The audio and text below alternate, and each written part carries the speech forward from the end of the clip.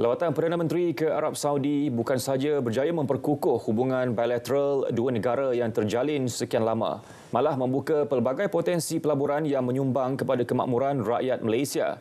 Datuk Seri Anwar berada di Riyadh selama tiga hari sejak Sabtu lepas bagi menghadiri Forum Ekonomi Sedunia WEF.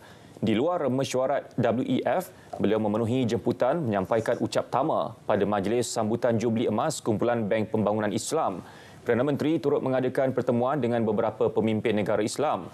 Ini termasuk Perdana Menteri Pakistan, Perdana Menteri Jordan dan Presiden Rwanda.